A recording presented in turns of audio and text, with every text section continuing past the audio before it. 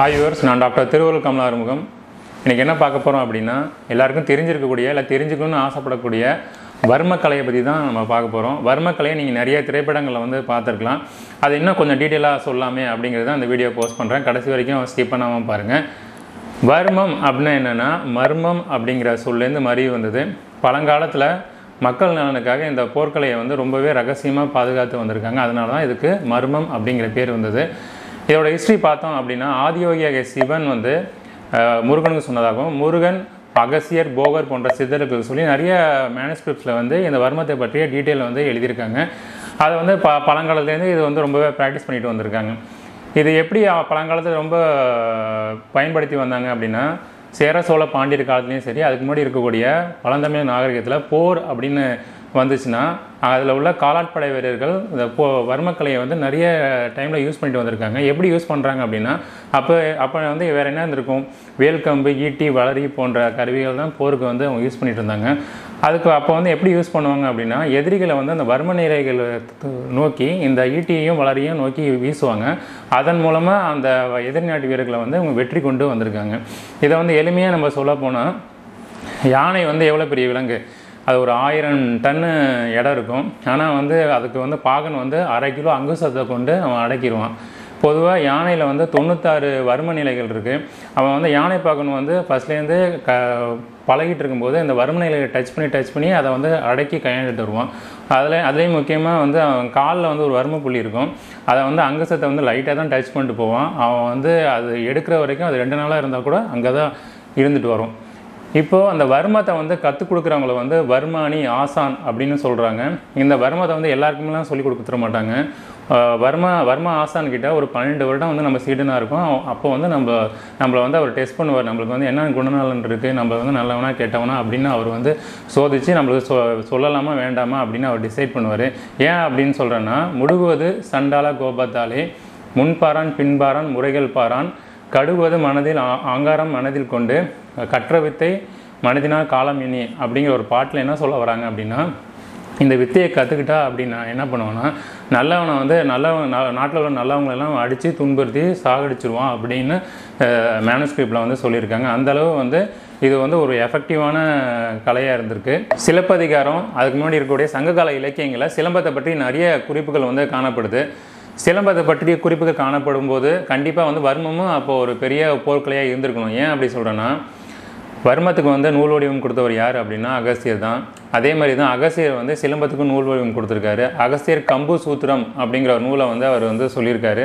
அதில் வந்து ஒரு பதினெட்டு வகையான சூடு முறைகளை சொல்லியிருக்காங்க. என்னென்னா பார்க்க வடக்கன் சூடு தெக்கன் சூடு பொண்ணு சூடு தேங்காய் சூடு அப்படிங்கிற ஒரு சூடு முறைகள்லாம் சொல்லியிருக்காங்க. சூடு முறை அப்படின்னா ஃபுட் ஒர்க்ஸு இப்போ வந்து அந்த ஃபுட் ஒர்க்ஸ் மூலமாக வந்து எதிராளியை வந்து வீழ்த்துவாங்க. அப்போ என்ன பண்ணுவாங்க? இந்த வர்மத்தையும் சேர்த்து அடித்து அவங்க வந்து வீழ்த்துவாங்க. நீங்கள் தேவர் மகன் படத்தில் நீங்கள் பார்த்துருக்கலாம். அதாவது அந்த சாந்து போட்டு சந்தனம் போட்டுங்கிற பாட்டுக்கு முன்னாடி கமல் வந்து அந்த குச்சியில் வந்து சுண்ணாம்பை வந்து தொட்டு எதிராளியை வீழ்த்துவாங்க. அதே மாதிரி வர்மத்தையும் சிலம்பத்தையும் வந்து கண்டிப்பாக வந்து பிரிச்சே அறிய முடியாது. எப்படி வந்து அந்த பாரம்பரிய போர்க்கலையில் வந்து நம்மளோட வழக்கொலி ஆரம்பிச்சது அப்படின்னா வெள்ளைக்காரர்கள் வந்ததுக்கப்புறம் இந்த தமிழர்களோட பாரம்பரிய விளையாட்டை வந்து பார்க்குறாங்க உடனே வந்து அவங்க பேன் பண்ணிடுறாங்க. ஏன் பேன் பண்ணுறாங்கன்னா இவங்களாம் ஒரு பெரிய அவங்களுக்கு ஒரு ஒரு மண்டை குடச்சலாக ஒரு த்ரெட்டாக இருந்திருக்காங்க. அதனால தான் உடனே பேன் பண்ணுறாங்க இப்போ நீங்கள் கூட கேட்கலாம். இவ்வளோ தூரம் ஒரு ரிஸ்க்கான ஒரு கலையாக இருக்குது டாக்டர். இதை வந்து நாம் வந்து தெரிஞ்சுக்கணுமா? இதனால் நம்மளோட மனித இனத்துக்கு என்ன தான் பயன் அப்படின்னு நீங்கள் கேட்கலாம். இதில் நம்ம தெரிஞ்சுக்க வேண்டியது என்னென்னா எப்படி வந்து வர்மக்கலை வந்து ஒரு தற்காப்பு கலையோ அதோட பெரிய ஒரு மருத்துவ கலை என்ன இப்போ என்ன சொல்கிறேன்னா வர்மங்கிறது நூற்றி எட்டு வர்மங்கள் சொல்கிறாங்க அதில் வந்து படுவர்மம் பன்னிரெண்டு தொடுவர்மம் தொண்ணூற்றாறு.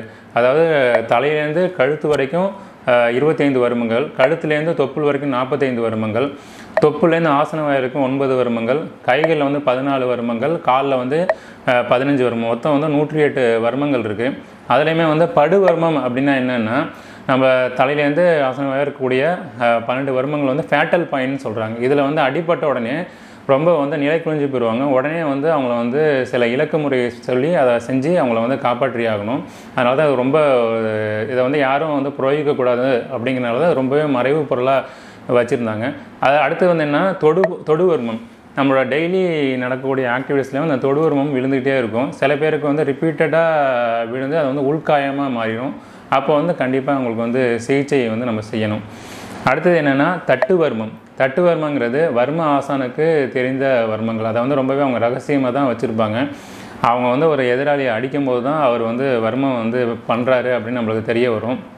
அடுத்தது நோக்கு வர்மம். நோக்கு வர்மம் வந்து நீங்கள் பார்த்துருப்பீங்க.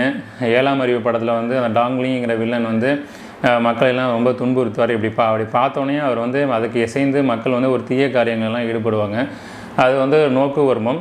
நோ நம்ம கூட வீட்டில் வந்து மனைவி வந்து இப்படி உத்து பார்த்தோன்னா நம்ம வந்து கப்சிப்பு அப்படின்னு சொல்லிட்டு நம்ம செய்கிறது இல்லையா? அதுவுமே எல்லாமே ஒரு எண்ணெய் இலை அலைகளின் ஒரு பரிமாற்றம் தான். இது எல்லாராலையும் செஞ்சிட முடியுமா அப்படிங்கிறதுலாம் ஒரு பெரிய கேள்வி வருது. ஏன்னா வாசி யோகத்தில் உச்ச நிலையில் இருக்க இருக்கவங்கள மட்டும்தான் இந்த நோக்கு உரிமத்தை செய்ய செய்ய முடியும். இந்த வர்ம ப வர்மங்கள் வந்து நம்மளுக்கு விழுந்துக்கிட்டே இருக்கும். அதை வந்து வர்மத்துக்கு நேர் அதே வர்மத்தை கொடுக்க கொடுக்கலாமா? அப்படின்னு கேட்டிங்கன்னா கண்டிப்பாக கொடுக்கக்கூடாது. அந்த அதே வர்மம் கொடுத்தீங்கன்னா இந்த நோயை வந்து ரொம்பவே அதிகமாக தான் ஆக்கும். அதுக்கு என்ன பண்ணலாம் அப்படின்னா அடங்கல் முறைன்னு அப்படின்னு இருக்குது இப்போ வர்மம் விழுந்துச்சுன்னா அதுக்கேற்ற மாதிரி அடங்கல் முறை செஞ்சால் அந்த நோயாளியை நம்ம காப்பாற்ற முடியும். பொதுவாக ஐம்பத்தாறு அடங்கல் இருக்குது அப்படின்னா வர்ம ஒடிவு ஒடிவு முறிவு சூத்திரத்தை சொல்லியிருக்காங்க. இன்னும் நிறைய அடங்கல் இருக்குன்னு இன்னும் சில நூல்களில் சொல்லியிருக்காங்க. இதை எப்படி பண்ணுறது அப்படின்னா அதாவது வந்து நம்மளோட சர ஓட்டம் வந்து ஓடிட்டே இருக்கும். ஓடினே இருக்க ஓடிட்டே இருக்கும்போது இப்போ ஒருத்தனை வந்து உயிர் அடங்கிருச்சு அப்படின்னு சொல்கிற மாதிரி இந்த சர ஓட்டம் வந்து சில இடங்களில் வந்து அடங்கி கிடக்கும். அதாவது வர்மம் விழுந்து கிடக்கும். அந்த இடத்த வந்து நம்ம வந்து அழுத்தும் போது அதை ஓப்பன் ஆகி ரிலீஸ் ஆகி நம்மளுக்கு வந்து நார்மலான இயல்பான நிலைக்கு வந்து வர முடியும். இந்த அடங்கல் முறையை வந்து எல்லாராலையும் செய்ய முடியுமா அப்படின்னா இது வந்து வர்ம பயிற்சி பெற்ற சிறந்த சித்த மருத்துவர்களால் மட்டுமே பண்ண முடியும். சில பேருக்கு வந்து வர்மங்களால் பாதிக்கப்பட்டு தோல் வலி கழுத்து வலி இடுப்பு வலி அப்புறம் முழங்கால் மூட்டு வலி அப்படிலாம் இருக்கும். அவங்களுக்கு வந்து என்னென்ன வர்மங்கள் செய்யலாம் டாக்டர்? அதெல்லாம் நீங்கள் எதாவது சொல்ல முடியுமா அப்படின்னு கேட்டிங்கன்னா இன்னும் வரக்கூடிய வீடியோக்களை கண்டிப்பாக அதை உங்ககிட்ட ஷேர் பண்ணிக்கிறேன்.